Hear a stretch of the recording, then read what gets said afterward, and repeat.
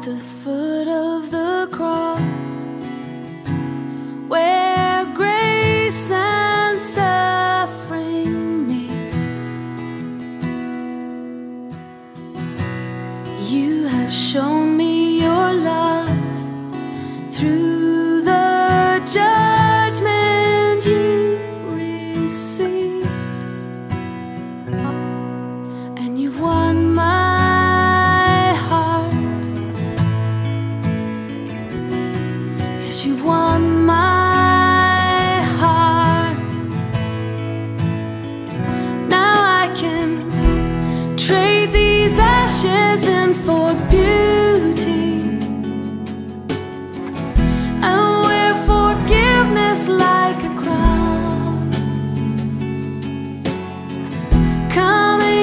kiss the